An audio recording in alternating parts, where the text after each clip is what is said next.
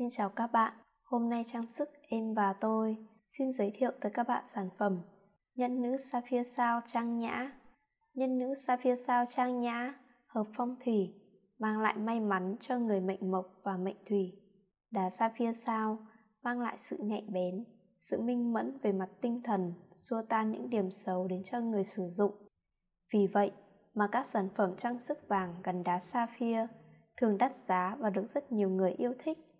Nhân nữ sapphire sao trang nhã, giao hàng trên toàn quốc. Cảm ơn các bạn đã theo dõi video của chúng tôi.